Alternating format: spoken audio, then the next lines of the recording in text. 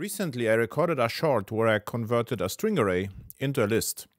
And afterwards, I changed the underlying array and the changes were not reflected in the list. And I got a comment that that's because a list of produces an immutable collection or an immutable list, which is partially true. So it is, it is in fact um, immutable. So if I try to add, let's say, uh, James here, uh, James is already there.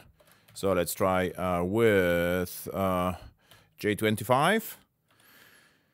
If I run the code, we get uh, exception because the list indeed is immutable. But um, let's try another approach. Um, and what I could do equally well, I could actually ask the collections utility to create an on unmodifiable collection, which is uh, immutable.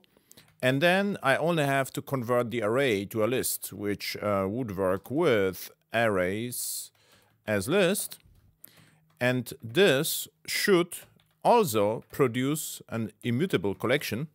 So um, just go with J25 again. And it is immutable, but if we just remove that, it is immutable, but uh, I'm able to override the list by changing the underlying uh, array. The reason being is this list of not only produces an unmodifiable collection, it also creates a copy of the underlying array. And this is why I don't saw the changes um, by changing the underlying array.